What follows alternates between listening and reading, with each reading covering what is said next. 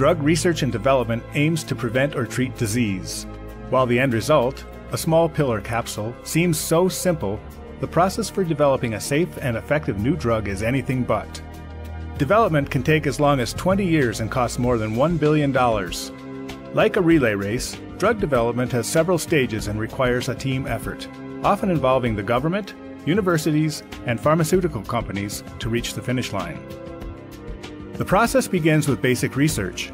U.S. government agencies, such as the National Institutes of Health, conduct and fund research at laboratories around the world to uncover fundamental knowledge about diseases. This research helps identify potential drug targets, usually genes or proteins whose functions are critical to the survival or spread of a disease causing organism. Scientists then investigate how they can interfere with these targets to either control or eliminate disease. They may test tens of thousands of chemical or biological compounds to see if they either inhibit or stimulate a given target. Usually, only a very small percentage of these compounds will have an effect on the target. These hits are then rescreened multiple times to confirm the results and further trim the list of potential drug candidates. Researchers look for compounds that interact only with the desired target. If a compound reacts to unrelated targets, there is a greater chance of adverse side effects. Further minimize this risk, researchers conduct experiments to optimize a compound's absorption, distribution, and metabolism inside the body. These studies help determine which compounds are safe and effective enough for further testing.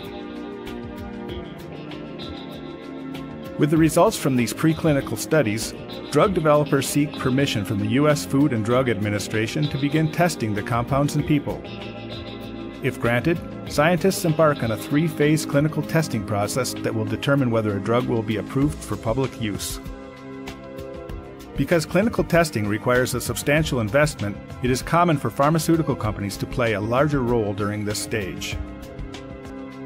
Phase 1 clinical trials test an experimental drug in about 20 to 80 healthy adults to evaluate its safety, determine a safe dosage range, and identify side effects.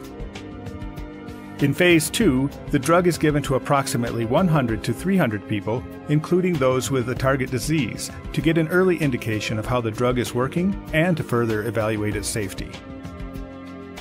Phase 3 trials evaluate the drug in a group of 1,000 to 3,000 people who have the disease. These trials aim to confirm the drug's effectiveness and monitor side effects. They also may compare the drug to commonly used treatments or to no treatment at all. The larger size of phase 3 trials allows for results that are more statistically significant or less likely to have occurred by chance.